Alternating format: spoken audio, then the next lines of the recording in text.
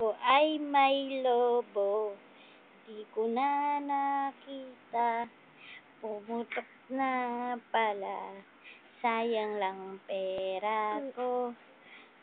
Pambili ng lobo Sa pagkain sana Nabusog pa ako. Busog.